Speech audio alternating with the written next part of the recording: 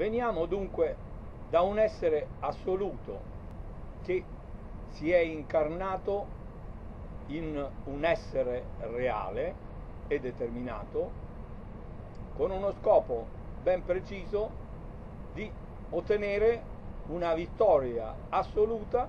attraverso ogni singola possibilità formalizzata in termini di vite umane. Infatti ciascuno di noi proviene come da un padre che si è messo in croce nel singolo figlio specifico per delegare al figlio la vittoria del caso personale assegnato al figlio. Dio Padre l'ha assegnato al figlio come a se stesso,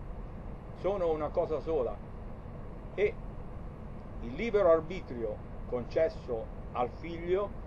è il libero arbitrio che il padre ha concesso a se stesso, perché padre e figlio sono una sola cosa. L'unica, la sola differenza che esiste tra noi e Dio è che Dio Padre è il 10 e noi siamo un valore 10 alla meno 1. Ciascuno di noi è un valore 10 alla meno 1. È eh, una cosa fondamentale, ma siamo nella stessa natura di questo ente 1 e 10 che anziché in linea discendente, tale che un padre genera un figlio, noi siamo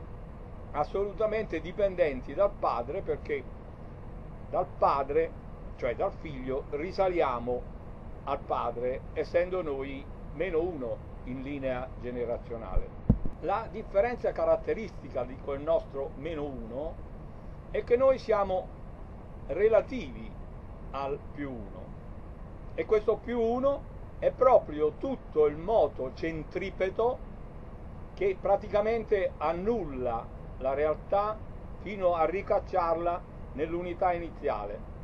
Noi, essendo nel segno meno, abbiamo l'espansione da quell'uno verso l'esterno e di conseguenza abbiamo la possibile immagine di una possibile libertà, che però non esiste perché all'origine c'è la forza gravitazionale e noi che vediamo una sorta di Big Bang, cioè di espansione di ogni cosa, crediamo di esserci vittoriosamente opposti alla forza gravitazionale,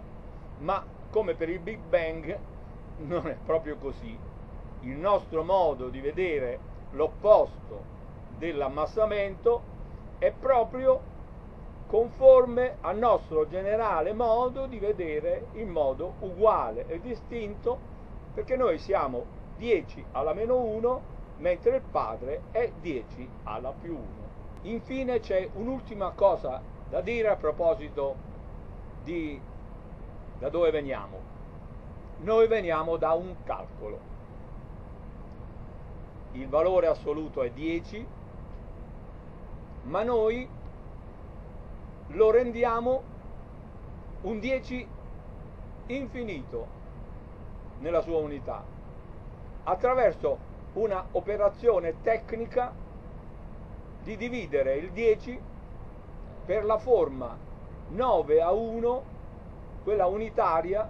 interna ad un 10 assoluto, che non ha riferimenti a un 1, mentre invece il 9 a 1 ce l'ha ed è interno al 10 assoluto. Ebbene, quando noi vediamo il 10 nel modo unitario del 9, il 10 diviso 9 diventa 1,11111 e noi vediamo il decimo, vedete, quel 10 alla meno 1, eterno, all'infinito e il tempo che si sussegue al tempo sono i vari istanti della nostra vita come se fosse un film. Noi passando da un decimo all'altro, nell'eterno decimo successivo, abbiamo l'immagine di esistere in un frattale, perché i frattali sono proprio organizzati in questo modo, aggiungono ogni volta un decimo alla dimensione successiva. Questa esperienza porta a vedere l'avvicinamento a un mondo come se questo mondo venisse sempre in avanti verso il soggetto che lo vede.